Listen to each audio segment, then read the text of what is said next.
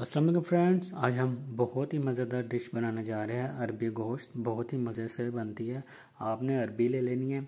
अरबी को आपने काट के इसको नमक लगा के थोड़ी देर रखना है, एक से दो मिनट, उसके बाद आपने इसको वॉश करना है।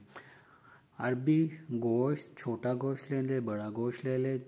नमक, हल्दी, सूखा धनिया, गरम मसाला, मिर्चें, साबत, गार्लिक, जिंजर का पेस्ट, ओनियन, प्याज अब आपने ये चीज़ें ले लेनी है। अरबी आपने काट के रख के जिस तरह मैंने बताया, नमक लगा लेना है। अब प्याज लेने हैं। प्याज को ऑयल के अंदर गर्म करना है। पकाने के बाद, थोड़ी देर बाद गोश्त, उसके बाद गोश्त डाल देना है। फिर अच्छी तरह ऑयल में गोश्त को भूने। अच्छी तरह हलाए ताकि गोश्त ऑयल में अच्छी तरह पक जाए। इसको अच्छी तरह एक दो तीन मिनट हलाए आप। इसके बाद आप इसको अच्छी तरह लाल कर ले, प्याज को तेल निकल आए, गोश्त का भी थोड़ा सा ऑयल निकल आए। इसके बाद आप मसाले ले, मसालों को बीच में डाल दे, सारे मसाले जो मैंने आपको बताए हैं। उसके बाद इसको हलाए अच्छी तरह। इसके बाद आप टमाटर ले लें, पाँच छः सात, उसको आप इस हांडी में डाल दें। डालने के बाद आप इसको भी अच्छी तरह हलाए ताकि टमाटर का अपना जूस निकल आए इसके अंदर। जितना जूस निकलेगा, उतना ही आपका जो सा मसाला है, वो जूसी और स्पाइसी बनेगा।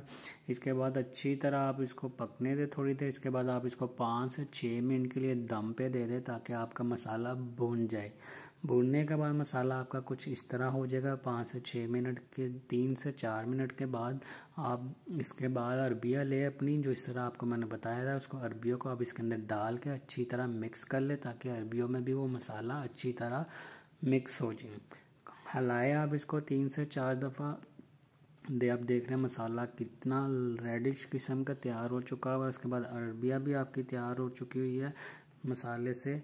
इसके बाद आप इसके अंदर पानी डालें। जितना आप डालना चाहते हैं, मैंने इसमें सिर्फ़ तीन से चार गिलास पानी डाला है।